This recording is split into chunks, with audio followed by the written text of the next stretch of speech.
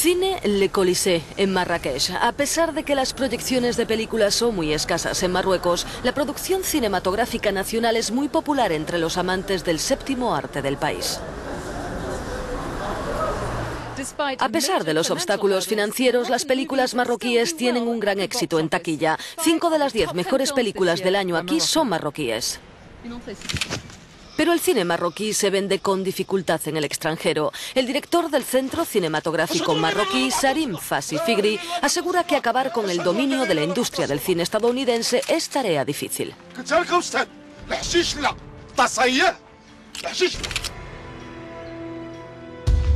A internacional, a nivel internacional sufrimos los mismos problemas que otras industrias cinematográficas nacionales. En cualquier país podemos encontrar el cine nacional y el cine estadounidense.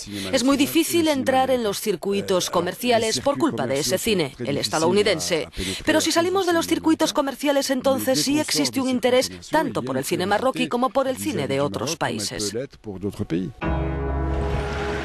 Pocas películas marroquíes tienen éxito a nivel internacional, pero el país ha sido escenario en numerosas ocasiones de producciones extranjeras. Y existe una muy buena razón para ello, explica el director belga Joachim Lafosse. Yo he rodado dos películas en Marruecos, bueno, parte de ellas. Los técnicos marroquíes son excepcionales porque trabajan mucho en producciones estadounidenses, francesas, belgas. Si hablamos del cine marroquí, debemos hablar sobre todo de sus técnicos. Otro aspecto es la parte artística del cine marroquí. Creo que en la última década han surgido muchas cosas nuevas. Durante los últimos 15 años se ha ido forjando en Marruecos una nueva generación de cineastas. Euronews ha preguntado al veterano director de cine, Saad Shraibi, qué ofrece el cine marroquí.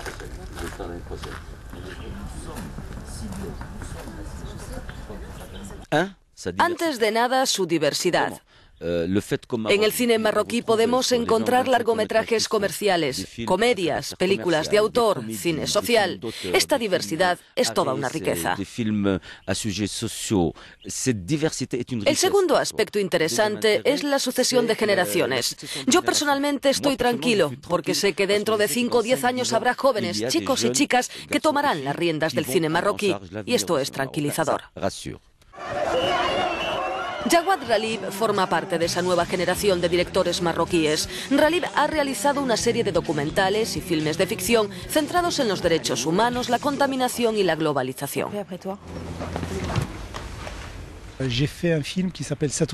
Hice una película que se llama Sept Rue de la Folie. Es un filme que habla de la laicidad, de unas chicas que quieren liberarse de la dictadura del padre y que por ello rechazan rezar y beben alcohol. Esta película, para sorpresa de todo el mundo, fue muy bien recibida aquí, sobre todo en Agadir.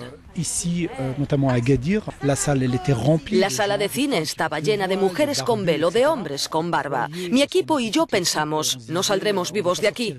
Al final del filme todo el mundo aplaudía, todo el mundo estaba contento, se mostraba tolerante. Marrakech ha sido también escenario de la película Match Love del director marroquí Nabil Ayush. El filme ofrece un retrato de la prostitución en esta ciudad, pero la película ha sido prohibida en el país, dividiendo a la opinión pública y desatando un enorme debate a nivel internacional sobre la verdadera libertad de expresión en el cine marroquí.